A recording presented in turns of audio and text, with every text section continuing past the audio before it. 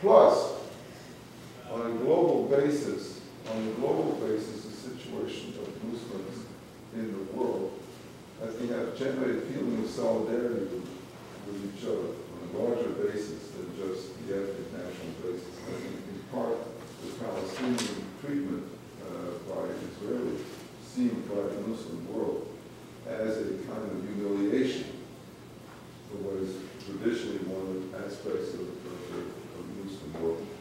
Second, the invasion of Kuwait by the Americans is again a, a violation in the sense that a desecration, a profanation, if you wish, of what is part of the, of the world or, of, Islamic community.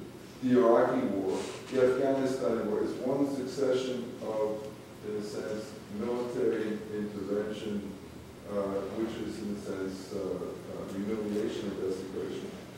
Uh, and it, goes on and on and on, so to speak. From a, from a Muslim perspective, uh, I think uh, that uh, uh, even go back to, to, to uh, Salman Rushdie.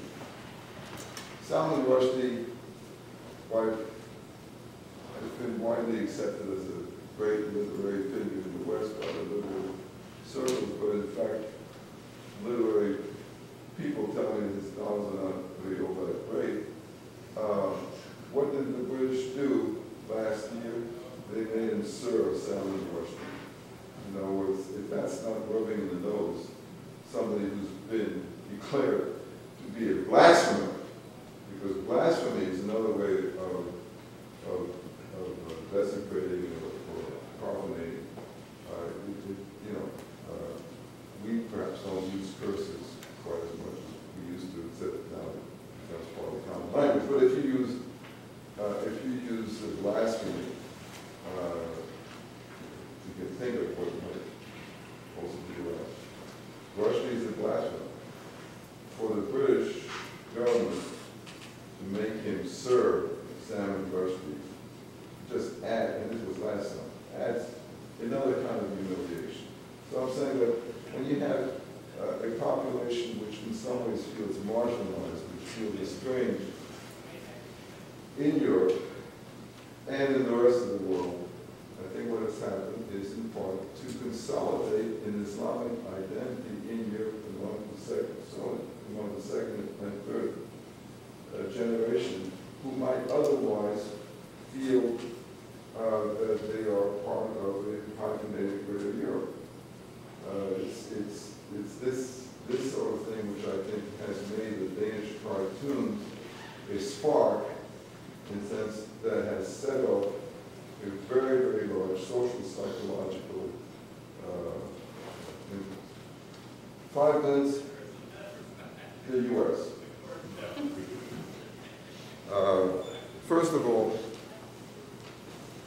along the lines of Durkheim was very, very well aware of uh, there being in secular modern societies such as France a shrinkage of traditional values and civic, but he just not got a quote here, but I won't bother.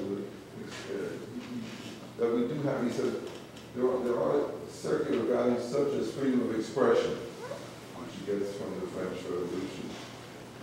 Freedom of expression has become, in a sense, uh, for, the, for the West, freedom of speech, freedom of expression, has become something sacred. Along with, in the United States, since 9-11, the flag uh, and the language.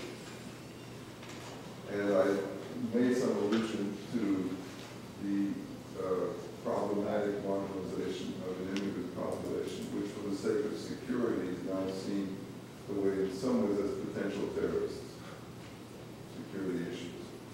So that uh, to build a wall, to build a wall all over the course, you know, is is uh, a certain kind of reaction, I think, to the threat of security, whether or not that threat is real or not, is for us perhaps uh, to discuss.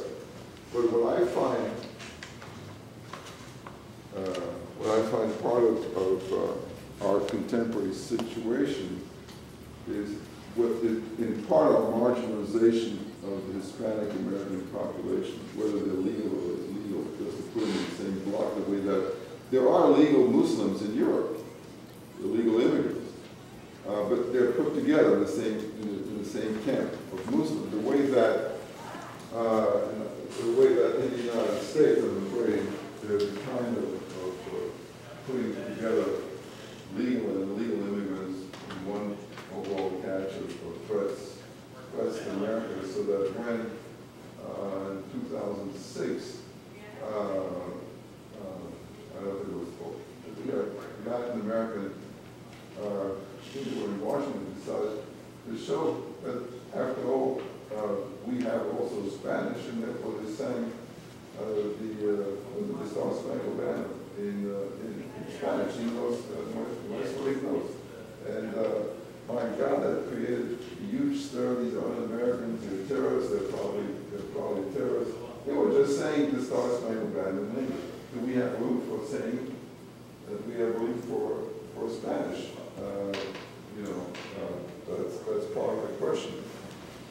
Freedom of expression, to me, has uh, taken a, a very uh, equivocal turn in, uh, in uh, even in the United States.